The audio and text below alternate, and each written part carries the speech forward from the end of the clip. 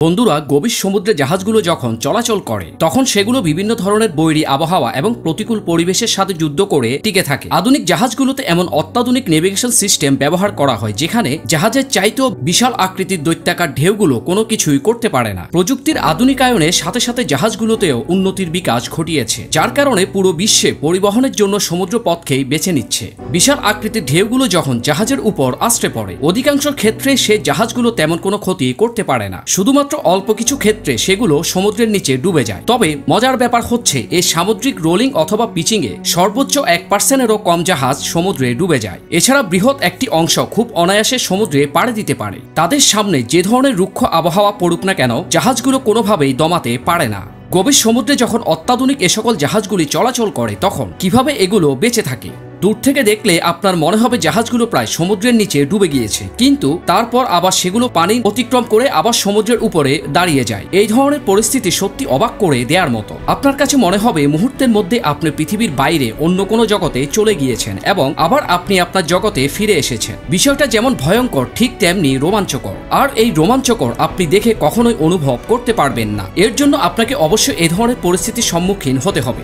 জাহাজ পরিচালনায় যে ধরনের সরঞ্জামগুলো ব্যবহার করা হয় সেই সম্পর্কে আজকে আমরা জানার চেষ্টা করব ইফতেকার আহমেদ চ্যানেলটিতে। নতুন বন্ধুদের কাছে অনুরোধ রইল চ্যানেলটি সাবস্ক্রাইব করার জন্য। নোঙ্গর সরঞ্জাম। একটি নির্দিষ্ট জল অঞ্চলে একটি জাহাজকে নোঙ্গর করতে হবে এবং নোঙ্গরের শক্তি ব্যবহার করে জলের তলদেশে পল্লল দখল করতে হবে। সেই সাথে নোঙ্গর এবং চেইনের ওজন বাহ্যিক শক্তিকে কাটিয়ে উঠতে হবে, যেমন বাতাস এবং স্রোত, যা জাহাজকে প্রবাহিত করে। নোঙ্গর সরঞ্জামগুলো জাহাজের হেরফেরও সহায়তা করতে সাহায্য করে, যেমন সহায়ক ক্রিয়াকলাপ সরু জলপথে ইউটার্ন, ডকিং এবং পিয়ার ছেড়ে যাওয়া, মুরিং এবং সংযোগ বিচ্ছিন্ন করা ইত্যাদি। একটি জাহাজ গ্রাউন্ড করার পরে জাহাজের অবস্থান স্থিতিশীল করার জন্য নোঙ্গর ব্যবহার করা যেতে পারে, অথবা জাহাজটি নিজেই শৈল থেকে টেনে বের করা যেতে পারে। অ্যাঙ্কর সরঞ্জামগুলি মূলত anchor chain, anchor barrel, chain stopper, windlass, chain pipe, chain locker এবং চেইন ডিসকর্ডার দিয়ে গঠিত। এছাড়া রয়েছে নোঙ্গর চেইন। নোঙ্গর চেইন হলো একটি ক্যাবেল চেইন যা অ্যাঙ্কর এবং হুলকে সংযুক্ত করে।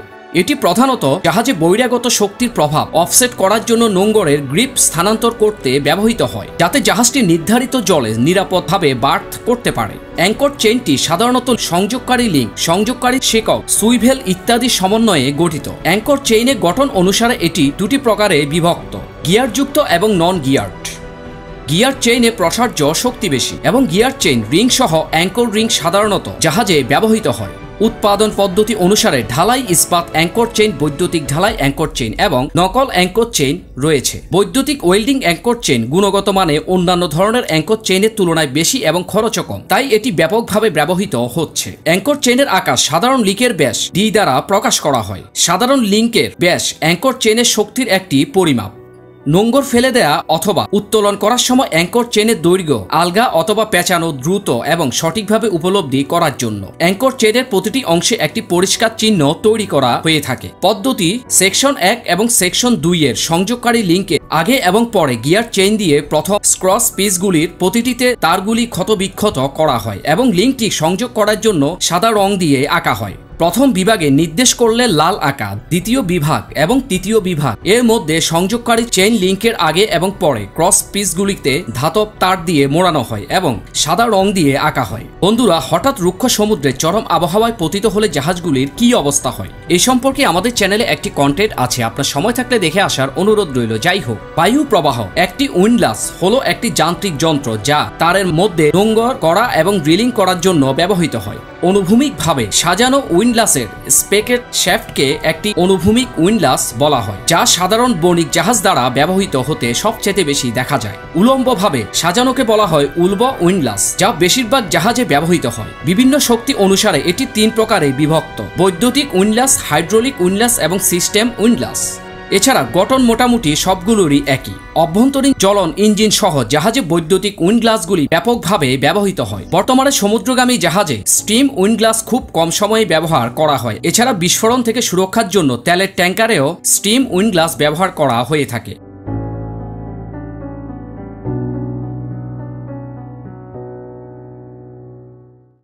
রাডার সরঞ্জাম। রাডার সরঞ্জাম হলো জাহাজ পরিচালনার প্রধান একটি সরঞ্জাম, যা জাহাজটি নেভিগেশনের সময় গতিপথ বজায় রাখতে এবং পরিবর্তন করতে পারে, তা নিশ্চিত করতে এটি মূলত ব্যবহৃত হয়। এটি প্রধানত rudder gear, steering gear, rudder steering gear এবং স্টিয়ারিং গিয়ার দ্বারা গঠিত, যা যথাক্রমে সেতু স্টিয়ারিং গিয়ার রুম এবং স্টার্নের নিচের অংশে স্থাপন করা হয়।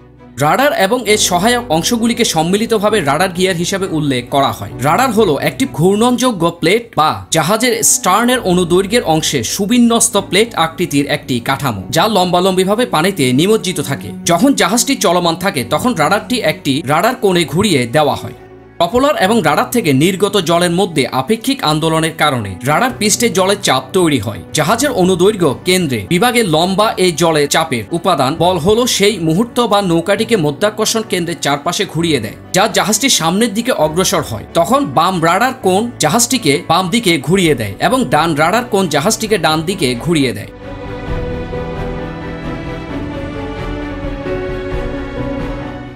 এই মুহূর্তটি একটি নির্দিষ্ট সীমার মধ্যে রাডার কোণ বৃদ্ধির সাথে সংযুক্ত থাকে। সাধারণত পূর্ণ রাডারের কোণ তিনশো পঞ্চাশ ডিগ্রি হয়ে থাকে। রাডারের উপর জলের চাপ শুধুমাত্র রাডার কোণ এবং জল প্রবাহের আপেক্ষিক গতির সাথে সম্পৃক্ত হয়। তবে রাডারের ক্ষেত্রফলের সাথেও সম্পৃক্ত সমানুপাতিক।